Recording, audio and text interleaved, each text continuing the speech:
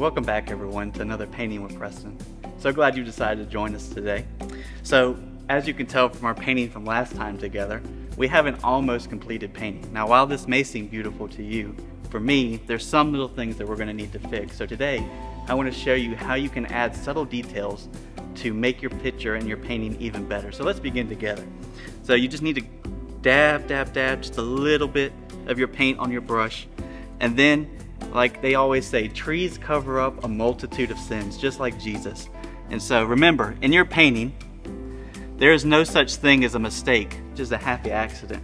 Well, at least that's what my mom used to tell me about how I was born. But anyway, let's go ahead and just put some trees right in there.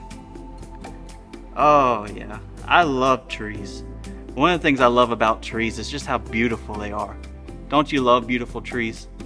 Sometimes I like to go out into the wilderness and just talk to trees and just spend my time in nature.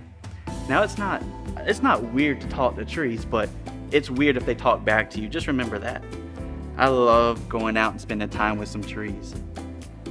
Now again, one of the things that you may need to know because of how the paint looks is that this paint is not edible. You cannot eat this paint. While it does look quite delicious on the camera, you must remember, no paint is edible. Say that back to me again.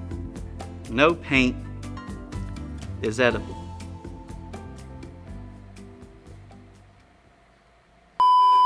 So as you can tell, we're finishing up this tree so that we can cover up the mistake that was there.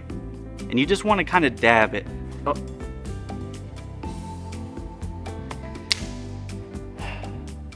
Are you Well, when plan B doesn't work, you can always remember plan C works just as well.